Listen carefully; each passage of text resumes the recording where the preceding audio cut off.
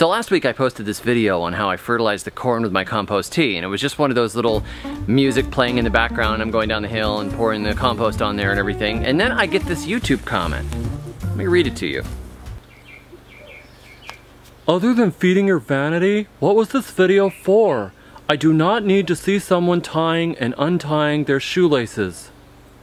To which my response was, I'll bet you also hate Mr. Rogers. It's a beautiful day in this neighborhood, a beautiful day for a neighbor. Anyhow, I have posted my compost tea recipe on the website at thesurvivalgardener.com and I've also posted other videos on how I make the compost tea. But today I'm going to show you exactly the kind of stuff you can put into your compost tea for some straight up anaerobic action. There it is. And by the way, to my critical commenters, I like you just the way you are. Now these are the weeds that I already chucked in there the other day when I was doing the string trimmer episode. There's not enough water in here, but it's already active and foaming down there. As you can see, it's alive. There are a lot of other things I like to add. The idea is to get as much nutrition from a broad range of sources as possible. One of the other things I like to add to all of my compost teas is some of this. Epsom salts. A couple of cups is good. There are a few other things we can add as well. This tree here is Leucaena lucephala. I'm sure I'm saying that wrong. It's a high nitrogen fodder tree from the tropics. Nitrogen fixer.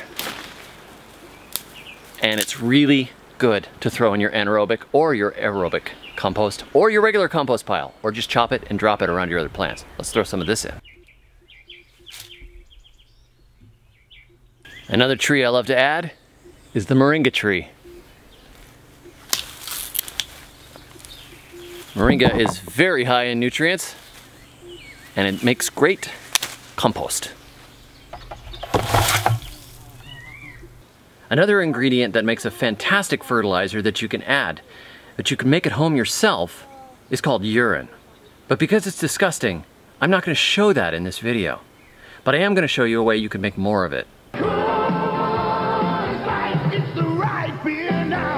It's okay. I'm a Christian, but I'm reformed.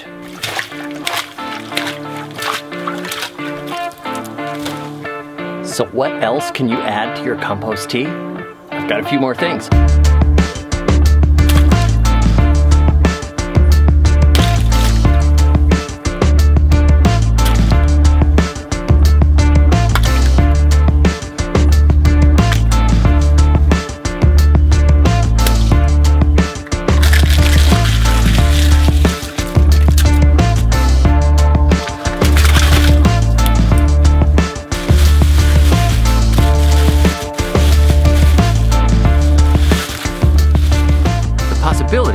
Are endless.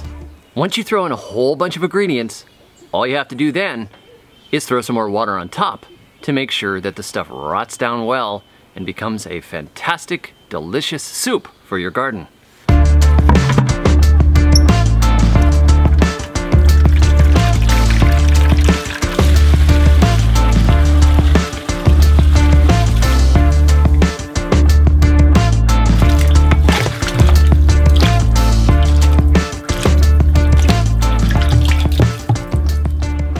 Now, if what I'm doing seems insane to you, that's because it likely is. However, don't throw it out yet.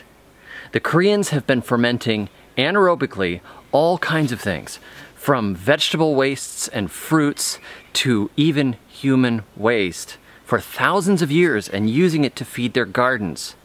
So if you want to throw out this method and say it's totally nuts, that's okay, but you got to take it up with Korea as well. Hey, I'm just one guy. There's a lot of people in Korea. And I have found that when you mix a whole bunch of stuff together and you let it rot, it makes a big difference. Just a second, that's nature calling. If you want to get really fancy, you can also add manure. If you've got cow manure, that stuff is fantastic, but make sure it's not contaminated with any kind of herbicides because a lot of the manure, particularly inside the United States, has some stuff called Grazon, which is a persistent herbicide that will wreck your garden for a long time. So if you don't know if the manure is safe, don't throw it in. What I do now is I just let everything rot down for a couple of weeks in the sun, strain it out, pour it into buckets, and then go thin it out and water my crops with it.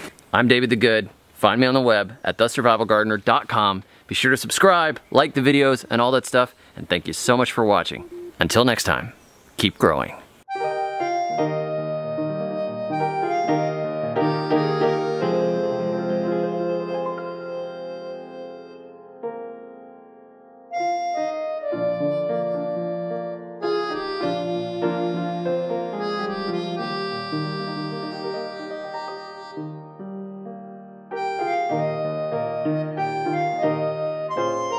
This is the new Coke Yellow.